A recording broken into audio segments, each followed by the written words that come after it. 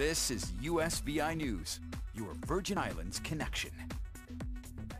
Hi, everyone. Thanks for joining us for USVI News. I'm Emily Matson. A big scare on Wednesday for St. Thomas residents when a caller to 911 reported there was a tsunami. The bogus emergency call not only frightened citizens, but for a moment put first responders on high alert as well. Our USVI News' Ali Bourne Vanek spoke with the director of VITEMA to learn more about the incident. Thank you very much for the opportunity to talk about this hoax. Uh, we did have a hoax over on the island of St. Thomas today. Um, unfortunately, we had a call that came into 911 uh, thinking about the water receding.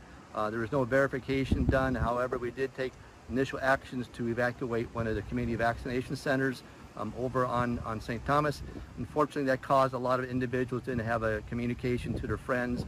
And before you know it, I'm getting phone calls from the governor, from the Senate, um, key commissioners direct asking about this. So we did the investigation, realized it was a hoax. Um, the alert VI system was used to generate a response back at the valley. It was a hoax, uh, up and down in about 30 minutes. So we appreciate those individuals um, who reached out to VITEMA. Uh, also, please uh, uh sign up for Alert VI uh, vitema.vi.gov so you get these messages. Uh, we will validate this for anything that does come out. We are in the process of putting in new tsunami sirens, upgrading our system. But unfortunately, this was not related to any of that at all. So thank you for the opportunity to clarify this. Certainly quite the momentary scare on Wednesday. Well, as we've reported, administration of the Johnson & Johnson vaccine has been put on hold. Dr. Anthony Fauci said the move by the Food and Drug Administration and the Centers for Disease Control to recommend a pause in Johnson & Johnson vaccines was done out of an abundance of caution. The nation's top infectious disease expert says the pause will allow federal health officials to take a closer look at the rare but serious blood clot cases. Dr. Fauci would not comment on whether he thought the vaccine would return to use in the U.S. The pause is not expected to significantly impact the country's vaccination program. People say, what does the pause mean? It really allows both the FDA and the CDC to further investigate these cases to try and understand uh, some of the mechanisms of what it is, some more details about the history of the individuals who were involved. As the nation shelves the Johnson & Johnson vaccine for health concerns, vaccine maker Moderna announced their COVID-19 vaccine is still very effective at preventing disease six months after the second shot. Moderna's vaccine was more than 90% effective at protecting against COVID and more than 95% effective at against severe disease up to six months after the second dose. Now, the update brings Moderna one step closer to receiving full U.S. approval for its vaccine. Currently, Moderna's vaccine is authorized for emergency use only by the Food and Drug Administration for people who are 18 years old and older. Moderna is still evaluating its vaccine in people ages 17 and younger. The health department of the Virgin Islands has only been administering the Moderna and Pfizer vaccines. Pfizer, which uses a similar technology to Moderna, was also shown to be highly effective six months after the second dose.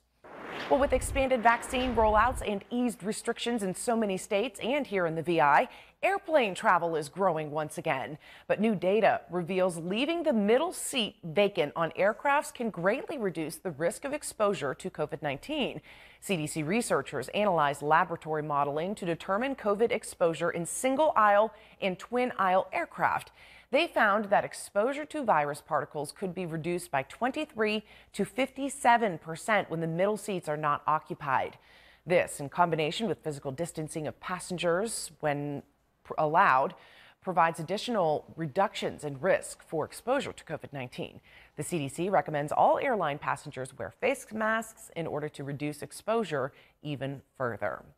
In more health news today, people who are consistently active are apparently at lower risk for severe COVID 19. That's according to a new study published in the British Journal of Sports Medicine. The study looked at nearly 50,000 adults with COVID 19. The research found those who met the U.S. Department of Health and Human Services physical activity guidelines target showed significantly lower incidences of hospitalization, ICU admission, and death due to COVID 19 illness.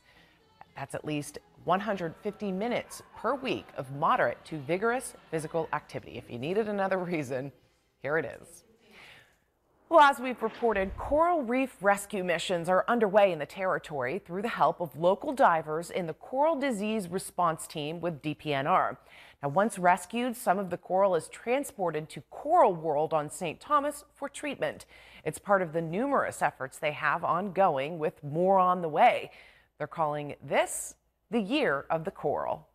We're going to expand our rescue facility in the future. We just started our new nonprofit. It's called Coral World Ocean and Reef Initiative, or CORI, um, which was just launched very recently. And so, um, we, like I said, we're very excited to be more involved in this type of restoration and rescue work. It is the year of the coral for Coral World. We're trying to bring the coral reef back into Coral World.